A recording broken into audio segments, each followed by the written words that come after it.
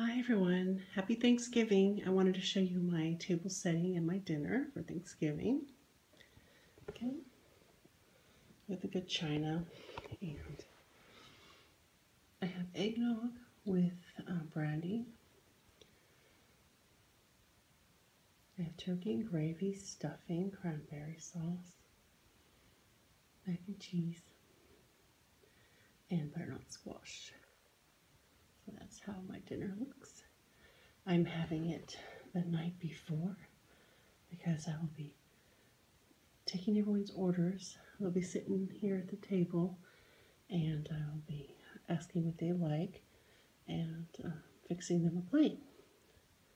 That's how we're going to do it this year. In addition to this, I'm making um, a cabbage and kale salad and we have green beans. It'll be really nice. And we have water sparkling waters and different kind of beverages too. Okay, just thought I'd share my Thanksgiving meal. It's not huge or anything. It's on a salad plate. If you're trying to keep slim during the holidays, I suggest instead of the big plate, the dinner plate. There.